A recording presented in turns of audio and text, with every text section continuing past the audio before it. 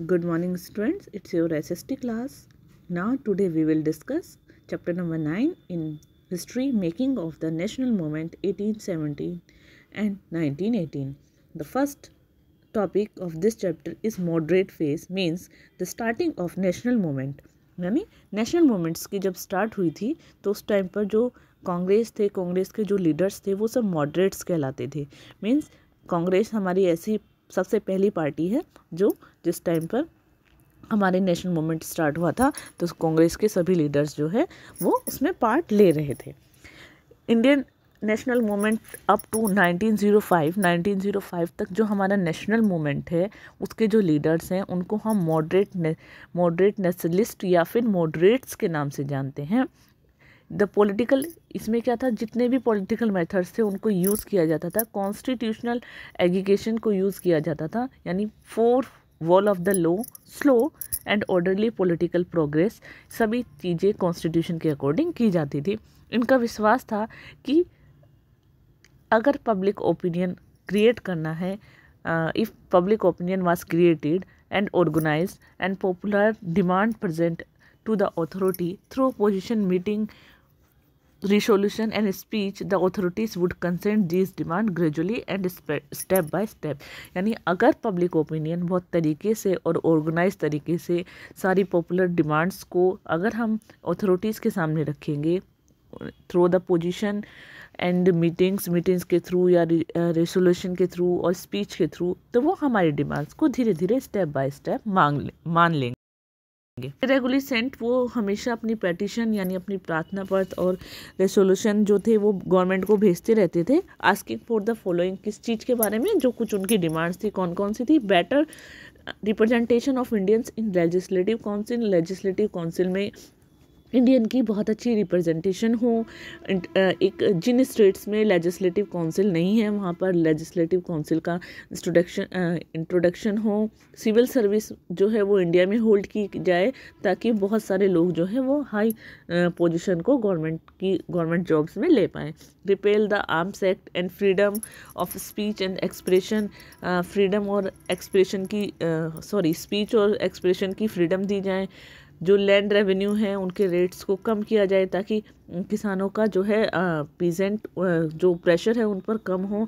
And production of land revenue and increase fund for irrigation to improve crop production और जो fund है irrigation के लिए उसको इम्प्रूव किया जाए ताकि प्रोडक्शन ज़्यादा हो इम्प्रूव हो सके। इरिगेशन के लिए जो फंड दे देते हैं उससे मिलिट्री एक्सपेंडिचर को कम करके उसका जो फंड है वो प्रोडक्टिव वे से आ, उसको cut the military expenditure military expenditure को कट किया जाए और ताकि जो फंड है उसको यूज़ किया जा सकते प्रोडक्टिव तरीके से।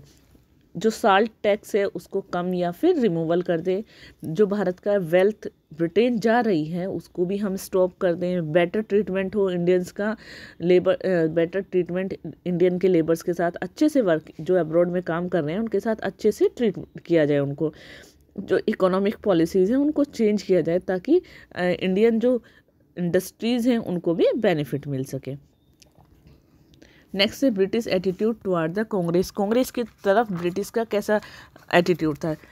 स्टार्टिंग में तो जो गवर्नमेंट थी वो बहुत, उसका एटीट्यूड बहुत ज़्यादा कैसा था? फ्रेंडली था। क्योंकि उनको ये लग रहा था कि कांग्रेस जो है वो उन्हीं की, उन्हीं के साथ देगी। लॉर्ड डफरिन ने इनवाइट किया कांग्रेस के डेलीगेट्स को कलकत्ता में दिसंबर 1886 में। नेशनल कांग्रेस पार्टी के जो लीडर्स थे डेलीगेट्स थे। They organise try to now wishes of the people and help the authorities to administration in the administration और ये ऑर्गेनाइज किया गया था, उन्होंने ट्राई किया था कि जो लोगों की विशेष हैं, वो उनकी इच्छाएँ हैं, उनको जान पाएँगे और हेल्प करेगी ये। अथॉरिटी की एडमिनिस्ट्रेशन एडमिनिस्ट्रेशन में, ठीक है? यानी जो अथॉरिटी थी उसकी हेल्प करेगी एडमिनिस्ट्रेशन में। कांग्रेस ने स्टार्ट किया रिफॉर्म्स के बारे में पूछना। जैसे जैसे टाइम्स पास होता गया तो उसने रिफॉर्म्स के बारे में बात करनी शुरू की। तो उस टाइम पर जो ब्रिटिश थे गवर्नमेंट जो थी, उनका एटीट्यूड अनफ्रेंडली होता गया और नेशनलिस्ट लीडर को वो डिसलॉयल या बाबूस कहने लगे। And the British criticise the Congress and its leader British जो है क्रिटिसाइज करने लगी कांग्रेस और उसके लीडर्स को। और उन्होंने उस टाइम कौन सी पॉलिसी उसकी डिवाइड एंड रूल की ताकि जो हिंदू और मुस्लिम की जो यूनिटी बनी हुई है, उसको बांटा जा सके, उसको अलग किया जा सके और नेशनल मूवमेंट्स की जो ग्रोथ है, उसको भी चेक कर ले। यानी वो ग्रोथ जो है, वो वहीं रुक जाए। Radical phase eighteen nineties century में जो पॉलिटिकल स्टाइल था कांग्रेस का, वो अपने तरीके से क्वेश्चनिंग तरीके से बहुत सारे उन्होंने क्वेश्चनिंग करनी शुरू कर दी पॉलिटिकल स्टाइल में। और बहुत सारे लीडर्स जो थे वो इसमें एमर्स थे, जैसे बिपिन चंद्रपाल, बाल गंगाधर तिलक और लाला लाजपत राय फ्रॉम पंजाब, जिनको पॉपुलरली कहा गया लाल बाल पाल। और वो जो है अपने तरीके से इन क्वेश्चनिंग करने लगे। यानी वो एक नया फेस चाहते थे। अब ब्रिटिश को प्रार्थनाओं से और पेटिशन पेटिशन से या फिर मीटिंग से उनको यकीन नहीं था कि वो इस तरीके की ब्रिटिश जो है उनकी बात मान लेंगे। और ये जो थे प्रोमिनेंट फिगर्स थे अमोंग न्यू लीडर्स में जो नए लीडर्स थे उनमें, ये जो लीडर्स थे वो कांग्रेस में इनकी सोच ये थी कि कांग्रेस जो है वो एंगेज रहेगी politics of the prayer prayer की जो पॉलिटिक्स में टिल देन तब तक। They wanted to explore more radical objective and method वो नए रेडिकल ऑब्जेक्टिव और मेथड्स को एक्सप्लोर करने लगे और उन्होंने कहा कि they called for strong political action उन्होंने नए स्ट्रॉन्ग पॉलिटिकल एक्शंस को स्टार्ट करना शुरू कर दिया, जैसे strike boycott of British goods and mass demonstration of to spread awakening among people and achieve political reforms ठीक है मास डिमोस्ट्रेशन ताकि लोगों के अंदर uh, जागरूकता फैलाई जा सके और पॉलिटिकल रिफॉर्म्स लाने में। They throw they thought that should people uh, should not relay good intention of people and instead they should work in their one stand towards swaraj और ये दोनों ही uh, अपने अपने तरीके से ब्रिटिश को uh, जो है वो स्वराज की डिमांड करने लगे, सेल्फ डिमांड करने लगे।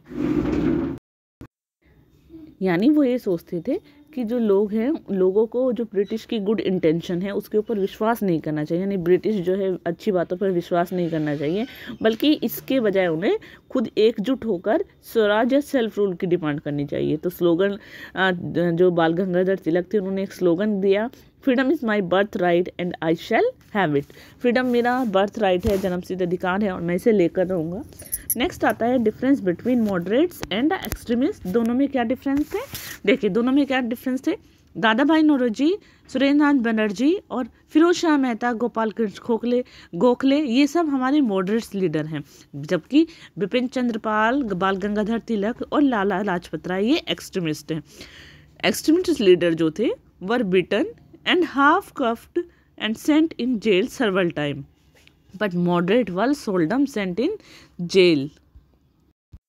यानी जो एक्सट्रीमिस्ट लीडर थे उनको पीटा गया बहुत बार उनको हथकड़ी लगाई गई और काफ़ी बार उनको जेल में भी भेजा गया, लेकिन जो मॉडरेट्स लीडर थे, उनको शायद ही जेल में भेजा गया एक्सट्रीमिस्ट जो थे, वो पॉपुलर थे मास में फॉर देर सेक्रीफाइसेस अपने किसके लिए अपने बलिदान के लिए वो बहुत ज़्यादा फ़ेमस थे आम जनता में और मॉडरेट्स को ब्रिटिश पर पूरा विश्वास था बट एक्सट्रीमिस्ट को कोई भी विश्वास नहीं था। मॉडरेट्स किसी भी चीज़ को पूरा करने के लिए, अपने एम्स को पूरा करने के लिए वो कॉन्स्टिट्यूशनल मेथड का यूज़ करते थे। बट जो एक्सट्रीमिस्ट थे, वो उनका क्या एम आप अचीव करने के लिए वो फोर्स का यूज़ करते थे ऑफ़ देयर स्ट्रेंथन अपनी बहुत ताकत के अनुसार फोर्स का यूज़ करते थे। नेक्स्ट है पार्टीशन ऑफ़ बंगाल बंगाल का पार्टीशन कब हुआ? 1905 में। उस टाइम में बंगाल जो है बहुत बिगेस्ट प्रोविंस था। और जो जिसमें आज के बिहार, झारखंड, उड़ीसा और मॉडर्न वेस्ट बंगाल और बांग्लादेश है। 19 जुलाई 1905 में वेस्ट बंगाल को डिवाइड कर दिया गया टू पार्ट्स में। ईस्ट बंगाल और वेस्ट बंगाल, ईस्ट बंगाल जिसमें आज मेजोरिटी जिसको हम आज बांग्लादेश कहते हैं, उसमें मेजोरिटी थी मुस्लिम की, लेकिन जो वेस्ट बंगाल है, वहाँ पर ज़्यादातर लोग जो है वो हिंदू थे। As per British authority British authority के अनुसार कि जो बंगाल का पार्टीशन किया था, वो किस लिए किया था? कि ये जो है अपने एडमिनिस्ट्रेटिव पर्पस के लिए किया था, क्योंकि बंगाल जो है बहुत बड़ा प्रोविंस था तो उसके ऊपर शासन करना बड़ा मुश्किल हो गया था, इसके लिए टू पार्ट्स में डिवाइड किया था। और ये पार्टीशन किसने किया था? किस टाइम किसके, कौन गवर्नर थे उस टाइम वाटसराय वाटसराय थे लॉर्ड कर्जन लेकिन रियल जो रियल रीज़न था इसके पीछे, वो कोई दूसरा ही था। वो ये था कि नेशनल मूवमेंट जो था, वो बंगाल में बहुत ज़्यादा स्ट्रॉन्ग हो चुका था। और इस पार्टीशन के द्वारा जो ब्रिटिश जो है, वो ये चाहते थे कि ये जो नेशनलिस्ट है नेशनलिज्म की फीलिंग को वो दबा दें और बंगाल बंगाल में दबा दें और ये डिवाइड कर दें हिंदू और मुस्लिम दोनों को। However the partition have much strengthened nationalist movement or it was widely criticized. यानी अब ब्रिटिश को क्या लग रहा था कि वो तो इस नेशनल मूवमेंट को दबा देंगे, पर इस ये जो पार्टीशन था, इसने पार्टीशन ने नेशनलिस्ट मूवमेंट को बहुत ज़्यादा स्ट्रेंथ दी, मजबूती दी और इसकी बहुत आलोचना की गई। सभी सेक्शन में जो है ब्रिटिश के खिलाफ गुस्सा फूट गया यानी उनके खिलाफ अपो उनका खिला, उनके खिलाफ हो गए वो।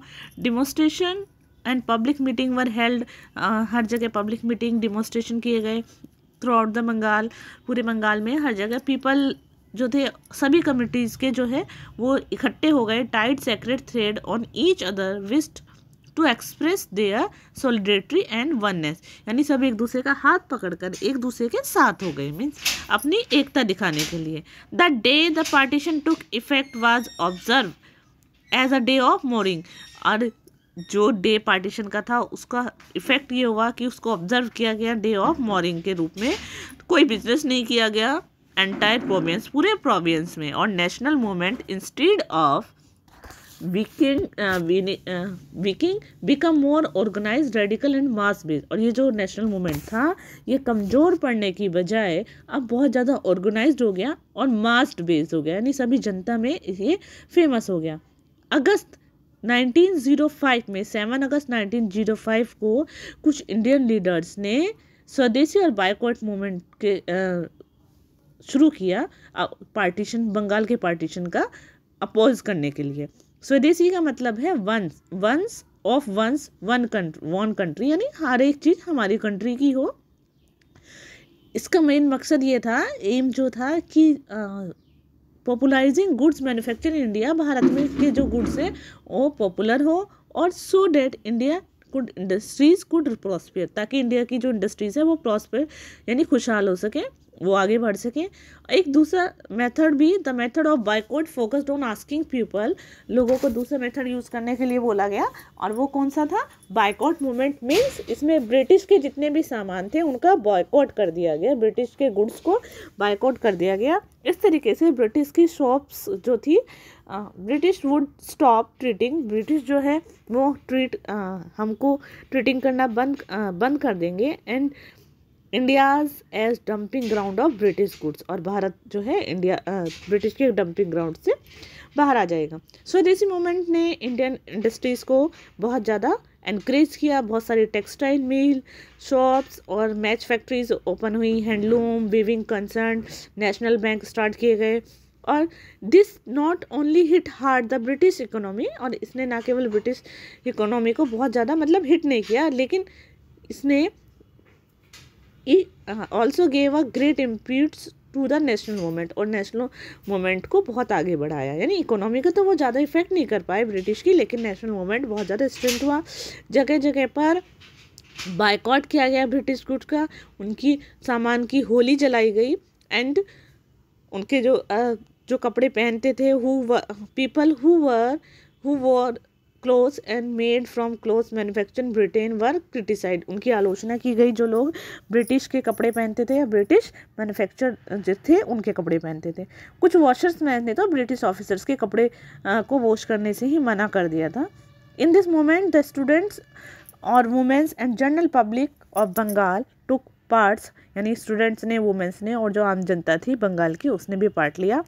Picket stop selling foreign goods and there and secular feeling of national movement grew there moments और इन दिस इस मोमेंट में सेकुलरिज्म की जो फीलिंग थी, वो बहुत ज़्यादा इम्प्रूव होने लगी। बहुत ज़्यादा लोगों के अंदर नेशनलिज्म की फीलिंग्स का उदय होने लगा सेकुलरिज्म की फीलिंग आने लगी। नेक्स्ट है split in national Congress national Congress 1907 में जो नेशनल कांग्रेस थी, उसको वो बट गई। उन्नीस 1905 में जो कांग्रेस का सेशन हुआ था बनारस में who, was president by Gopal Krishna Gokhale, जो इसके प्रेसिडेंट कौन थे? गोपाल गोखले थे और he did not support swadeshi movement वो स्वदेशी मूवमेंट को सपोर्ट नहीं कर रहे थे but moderates did not like the opposition of swadeshi movement जो मॉडरेट्स थे, उनको ये स्वदेशी मूवमेंट वाला जो सिस्टम था, वो पसंद नहीं आ रहा था। उसका भी अपोजिशन कर रहे थे। आफ्टर द एनुअल सेशन जब कांग्रेस का एनुअल सेशन ख़त्म हुआ 1905 में बनारस में तो तिलक ने एक नई पार्टी बनाई एक्सट्रीमिस्ट पार्टी और डिसाइड किया रिमेन विद कांग्रेस, यानी कांग्रेस के साथ ही रहना but to have own programs और अपने खुद के प्रोग्राम वो शुरू करेंगे। बट इन कलकत्ता कलकत्ता में उन्होंने ये शुरू, इन 1906 में कलकत्ता में एनुअल सेशन हुआ कांग्रेस का, जिसमें कि दादा भाई नौरोजी जो थे, वो प्रेसिडेंट थे और उन्होंने स्लोगन दिया, swaraj is my birth right and I will have it ये डिक्लेयर कर दिया उन्होंने, ठीक है? ये स्लोगन अभी हमने पढ़ा है। किसने दिया है ये? बाल गंगाधर तिलक ने, ठीक है? और लेकिन ये जो स्लोगन था, बाल गंगाधर तिलक का, ये डिक्लेयर कर दिया गया। बोथ मॉडरेट और extremist had their own meaning of swaraj लेकिन यहाँ दोनों मॉडरेट और एक्सट्रीमिस्ट के लिए इसका अपना ही मीनिंग था एक्सट्रीमिस्ट के लिए इसका मतलब ये था कि फुल फ्रीडम हो लेकिन मॉडरेट के लिए ये था कि हमारी खुद की गवर्नमेंट हो जो अपने इंटरनल अफेयर्स को हैंडल कर सके 1907 में there was split between two at the Surat session 1907 में सूरत का जो सेशन था उसमें कांग्रेस टू पार्ट्स में स्प्लिट हो गई the moderate began to control the Congress और मॉडरेट्स ने शुरू कर दिया कांग्रेस को कंट्रोल करना और रेडिकल ने डिसाइड किया बाहर से अपने काम करना। लेकिन 1916 में, लखनऊ के सेशन में कांग्रेस और दोनों कांग्रेस जो हैं, वो री यूनिट हो गई। ओके, दोनों एक साथ मिल गए। नेक्स्ट आता है मॉन्टे मिल्लो रिफॉर्म ऑफ़ 1909 1909 में मॉल मिंटो मॉडले रिफॉर्म्स जो था to placate the moderate industrialist government announced constitutional concession through the Indian Council Act 1909 जो मॉडरेट जो मॉडरेट नेशनलिस्ट थे, उनको हटाने के लिए गवर्नमेंट ने कुछ कॉन्स्टिट्यूशनल कंसेशन के द्वारा कुछ एक इंडियन काउंसिल एक्ट के द्वारा कुछ कंसेशन दिया और 1909 में, जिसको कहा गया मिंटो मॉडले रिफॉर्म्स ऑफ़ 1909 इसमें लॉर्ड मॉडले और उनके जो जो कि सेक्रेटरी थे स्टेट के और लॉर्ड मिंटो, जो कि वायसराय थे वायसराय थे जॉइंटली एम दोनों का उद्देश्य ये था कि वो भारत के पॉलिटिकल एडवांसमेंट जो है, यानी भारत की पॉलिटिकल एडवांसमेंट का फ़ायदा उठा पाए। उसका पॉलिटिकली रूप से भारत का फ़ायदा उठा उठा सके। इसके लिए उन्होंने इंक्रीज किया बहुत सारे number of elected member imperial legislative council में। एंड प्रोविंशियल काउंसिल में, यानी जो कि मॉडरेट्स की जो कि मॉडरेट्स की डिमांड थी तो उन्होंने लेजिस्लेटिव इंपीरियल लेजिस्लेटिव काउंसिल और प्रोविंशियल काउंसिल में इंक्रीज कर दिया बहुत सारे नंबरों को इलेक्टेड मेंबर्स को। The reform also introduce the system of separate electoral और जो रिफॉर्म था उसने इंट्रोड्यूस किया separate electorate under which Muslim which all Muslim were grouped in separate constituency from Muslim and alone be elected यानी जिसमें था separate electorate start किया, यानी जो मुस्लिम है, उनका सेपरेट कॉन्स्टिट्यूंसी होगी, और which Muslim alone could be elected और जिसमें से मुस्लिम ही इलेक्ट किए जाएँगे। The system of separate electorate was based on the notion that the political economic interest of Hindu and Muslim were separate और ये जो सिस्टम था सेपरेट इलेक्टोरेट का, ये किसके ऊपर बेस्ड था? कि हिंदू और मुस्लिम दोनों को पॉलिटिकली और इकोनॉमिक रूप से दोनों को अलग कर दिया जाए। रियल पर्पस इस रिफॉर्म का ये था to confuse the moderate moderate को कन्फ्यूज़ करना डिवाइड द यूनिटी यूनिटी को डिवाइड करना एंड चेक करना the growth of unity among Indians and to separate Hindu Muslim Hindu Muslim को सेपरेट करना। तो ये इस नाइनटीन ज़ीरो नाइन का जो रिफॉर्म्स था, उसका मेन पर्पज़ यही थे। This was done to pacify leader Muslim League और ये किसके द्वारा, जो पेसिफाइड लीडर थे मुस्लिम लीग के द्वारा, उनके द्वारा किया गया which had been formed few year earlier जो कुछ टाइम पहले ही बने थे। नेक्स्ट है रेवोल्यूशनरी मूवमेंट जो हमारा क्रांतिकारी मूवमेंट था, उसका first phase the early year of the twenty twenty century twenty century के अर्ली ईयर में अगर हम देखें तो जो रेवोलू जो रेवोल्यूशनरी मूवमेंट था, वो बंगाल, पंजाब और महाराष्ट्र में बहुत ज़्यादा उसकी ग्रोथ हुई। Young man advocates the use force of expel the British from India young man advocate जो थे, उन्होंने यूज़ की फोर्स की to expel the British Bharat को भारत से ब्रिटिश को भगाने के लिए उन्होंने सीक्रेट सोसाइटी भी बहुत सारी सीक्रेट सोसाइटीज़ जो थी उसके थ्रू ही फॉर्म सीक्रेट सोसाइटीज़ बनाई टू ट्रेन करने के लिए अपने मेंबर्स को in use of firearms and explosives two of the most active जो एक्टिव रिवोल्यूशनरी सोसाइटीज़ थी वो कौन सी थी? अभिनव भारत सोसाइटी जो कि महाराष्ट्र में थी और अनुशीलन समिति जो कि बंगाल में थी। ये जो रेवोल्यूशनरीज थे, ये assassinating British officials took to assassinating British officials and ये ब्रिटिश ऑफिसर्स को हत्या करना चाहते थे। द चापेकर ब्रदर्स ऐसे उन्होंने जो दो ब्रिटिश ऑफिसर्स थे अनपॉपुलर ब्रिटिश ऑफिसर्स उनको महाराष्ट्र में उनको मार दिया।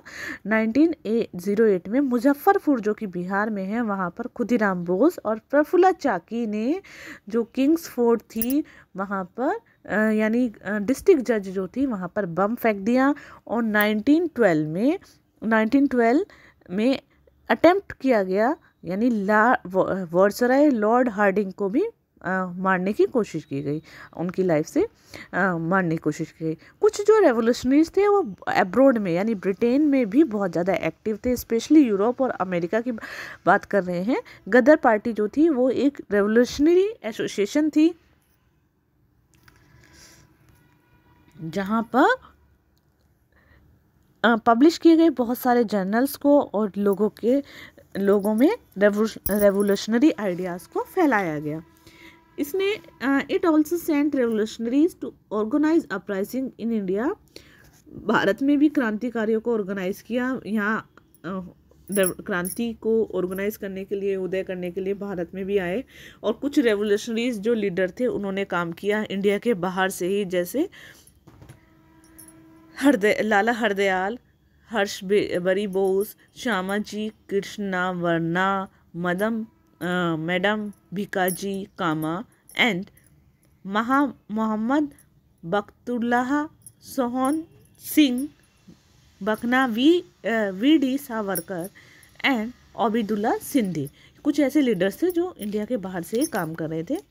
ब्रिटिश ने यूज़ किया use to all mean to suppress the revolutionary सभी तरीकों का यूज़ किया इस, इन क्रांतिकारियों को दबाने के लिए। खुदीराम बोस को फांसी चढ़ा दी गई। अरविंदो घोष और बरिंदा कुमार घोष को जेल में भेज दिया गया। कुछ क्रांतिकारियों को तो लाइफ टाइम के लिए जेल में भेज दिया गया। कुछ क्रांतिकारी जो थे, उनके वो उस टाइम में जो ये क्रांतिकारी थे रेवोल्यूशनरीज थे, ये उस टाइम के हीरो बन गए थे नेशनल हीरो थे। By their spirit of self sacrifice मतलब अपने they inspired many people to join national movement अपने आप को बलिदान देकर उन्होंने कोशिश की कि जो लोग हैं वो नेशनल मूवमेंट में से उनके बलिदान से इंस्पायर हो सकें और नेशनल मूवमेंट में को ज्वाइन कर सकें. They however could not involve the mass और it left to a man called Mohandas Karamchand Gandhi to mobilize the mass carry national movement to the next page इस तरीके से आ, उस टाइम क्या थी? क्योंकि जनता जो इसमें नहीं थी तो शामिल नहीं थी तो इस, जो काम था बच आ, ये काम कौन करने लगे? मोहनदास करमचंद गांधी उन्होंने जनता को आगे लेकर आए और नेशनल मूवमेंट के नए फेस में वो बहुत ही एक अच्छे नेशनल मूवमेंट को आगे लेकर गए अगले फ़ेज़ को। राइज ऑफ़ मुस्लिम लीग अब मुस्लिम लीग का उदय कैसे हुआ? बंगाल के पार्टीशन के बाद ब्रिटिश ने हिंदू, मुस्लिम दोनों में उनके एक बीज बो दिए थे लड़ाई के राइवलरी के। ठीक है? दोनों में आपस में लड़ने के मुस्लिम इलाइट्स मुस्लिम जो थे, वो अपने आप को they felt elite felt they would lose their identity उन्हें ऐसा लग रहा था कि वो अपनी आइडेंटिटी को, कि अगर वो कांग्रेस को सपोर्ट करेंगे तो वो अपनी आइडेंटिटी को खो देंगे। 1906 में ऑल इंडियन मुस्लिम लीग की स्थापना की गई, जिसको पॉपुलरली मुस्लिम लीग के नाम से जाना जाता है। इसके पहले प्रेसिडेंट कौन थे? Aga Khan third. And the Muslim League goal और इसका क्या गोल था? Gain protection of the right of Muslim right Muslims को प्रोटेक्शन राइट मिले। Securing separate electorate for the Muslim Muslims के लिए सेपरेट इलेक्टोरेट हो और representation of the Muslim in government government में रिप्रेजेंटेशन हो मुस्लिम्स की। नाइनटीन फोर्टीज़ में लाहौर सेशन के दौरान मुस्लिम लीग जो थे, मोहम्मद अली जिन्ना ने सजेस्ट किया adopting the two nation theory दो नेशन थ्योरी की दो टू नेशन थ्योरी जो थी, उसको रखा और उसमें डिमांड थी कि the formation of two independent state दो इंडिपेंडेंट स्टेट बने, जिसमें हिंदू और मुस्लिम, यानी कौन कौन सा था, एक स्टेट हिंदू के लिए हो, एक मुस्लिम के लिए हो। Ultimately successful movement led to Jinnah result the partition of Bengal night on fourteen August 1947 और अल्टीमेटली जो सक्सेसफुल मूवमेंट था उसकी उसके द्वारा रिज़ल्ट, जिन्ना का रिज़ल्ट ये निकला कि जो पार्टीशन हो गया 14 अगस्त 1947 को इंडिया का पार्टीशन हो गया। गांधी एरा गांधी जी का युग, first great period of Gandhi ji political career covering in nine, the year 1893 and nineteen fourteen open with visit of Africa पहला जो पीरियड था, महान पीरियड गांधी जी के पॉलिटिकल कैरियर का, वो 1893 से 14 1914 में शुरू होता है, जब वो इंडिया में अफ्रीका में विज़िट करने गए। जून सेवन नाइनटीन 1893 में गांधी जी ट्रेवल कर रहे थे फ़र्स्ट क्लास टिकट के साथ रेलवे में फ्रॉम दरबन टू पेरेटोरिया दरबन से पेरेटोरिया तक। नाइट वाज फ्रिकुडली कोल्ड जो नाइट थी, वो बहुत ज़्यादा ठंडी थी। और ऑन द वे रास्ते में एट मेटिन्सबर्ग मेटिन्सबर्ग में टिकट चेकर आए और उन्होंने कंपार्टमेंट में चेक करने लगे वो और उनसे पूछा him to vacate his seat कि वहाँ पर कोई सीट खाली है? And shift to third class कि ये सीट खाली करें और थर्ड क्लास में चले जाएँ। यानी कि उनसे कहा कि आप यहाँ की सीट को खाली करके थर्ड क्लास में चले जाएँ। गांधी जी ने आर्ग्यू किया उनके साथ ही हैड वैलिड टिकट उनके पास वैलिड टिकट है तो उनको क्यों यहाँ से वैकेंट करने के लिए बोला जा रहा है? टिकट चेकर ने कहा पुलिस को बुलाया और वैन ट्रेन स्टॉप और जो ट्रेन को रोका गया एट द स्टेशन और पाइटेन मेटिसबर्ग में ट्रेन को रोक दिया गया और Gandhi ji was thrown out of his compartment along with the luggage and help of the police police की हेल्प से गांधी जी को उनके सामान के साथ कंपार्टमेंट से बाहर फेंक दिया गया यानी बाहर उतार दिया गया। उनके कंपार्टमेंट से उनको बाहर जाने के लिए बोल दिया गया उनको बाहर भेज दिया गया। He had to sit at the station और वो पूरी रात ठंडी ठंडी ठंडी रात में वो पूरी रात स्टेशन पर बैठे रहे। इट वॉज़ आफ्टर डेट इसके बाद उन्होंने डिसाइड किया कि वो ब्रिटिश खिला, के खिलाफ लड़ेंगे। साउथ अफ्रीका में uh, the in South Africa Indians. However rich and respectable were not allowed to travel first class along with white passenger. यानी साउथ अफ्रीका में जो इंडियंस थे वो बहुत अमीर भी थे और रिस्पेक्टेबल भी थे बट उनको अलाउड नहीं था ट्रैवल करना फ़र्स्ट क्लास में वाइट पैसेंजर्स के साथ। वाइट मीन्स ब्रिटिश पैसेंजर जो थे। This incident had profound influence the shape shaping Gandhi ji career और ये जो इंसिडेंट था इसने गांधी जी के कैरियर uh, को एक शेप दे दी। मैनी ईयर लेटर बहुत सालों के बाद Gopal Krishna Gokhale referring to his event wrote अपने इवेंट के थ्रू उन्होंने लिखा Gandhi ji left felt Gandhi ji felt with the railway ticket no one honoured he rose with the treatment none could ignore he felt he fell a passenger but rose a patriot fell a barrister but rose a revolutionaries उन्होंने कहा गांधी जी ने महसूस किया, एक railway ticket को और किसी भी ऑनर के सम, वो हकदार नहीं है।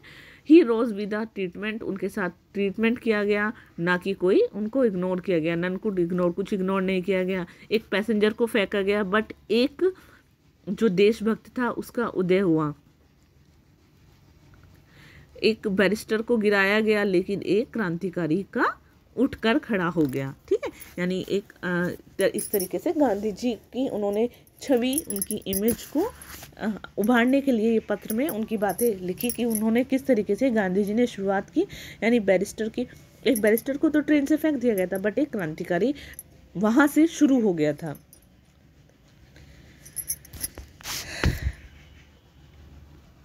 मोहनदास करमचंद गांधी, नॉन एज महात्मा गांधी और बापू मोहनदास करम मोहनदास करमचंद गांधी जी को ही हम महात्मा गांधी या बापू के नाम से जानते हैं। उनका जन्म सेकेंड अक्टूबर 1869 को पोरबंदर में काठियावाड़ में, काठियावाड़ के पोर में हुआ था, गुजरात में।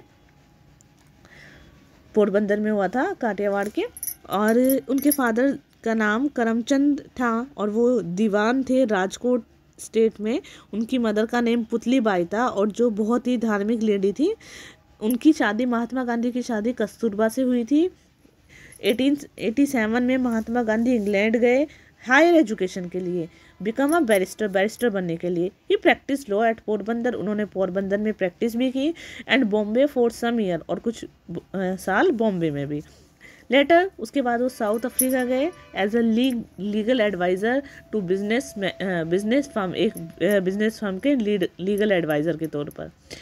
He was much pained to watch pathetic condition of the Indian immigrant immigrants in South Africa South Africa में जो इंडियंस थे, उनकी कंडीशन देखकर उन्हें बहुत ज़्यादा दुख हुआ। During he stay there he fought against the oppression of white rule against the Indian living there जब तक वो वहाँ रहे, वो ब्रिटिश के खिलाफ, यानी जो वाइट जो लोग थे, उनके खिलाफ लड़े। किसके? जो इंडियंस थे, वहाँ रह रहे थे उनके लिए। इस स्ट्रगल के दौरान वो इन्वॉल्व रहे बहुत सारे कंसेप्ट में, सत्याग्रह के कंसेप्ट में नॉन वायलेंट जो स्ट्रगल था, और उन्होंने अगेंस्ट ऑपरेशन ऑपरेशन यानी बहुत सारी तरीके से वो जो ब्रिटिश का खिलाफ रहे। It was the based on truth और सत्या अहिंसा। और जो उनके जो नॉन वायलेंट या जो ब्रिटिश का अपोजिशन कर रहे थे, वो नॉन वायलेंट ट्रुथ सत्या और अहिंसा और नॉन वायलेंस और ट्रुथ पर ही बेस्ड था। यानी गांधी जी का मेन बेसिक आइड जो उनकी आइडियोलॉजी थी, वो थी ट्रुथ और सत्या एंड अहिंसा या फिर नॉन वायलेंस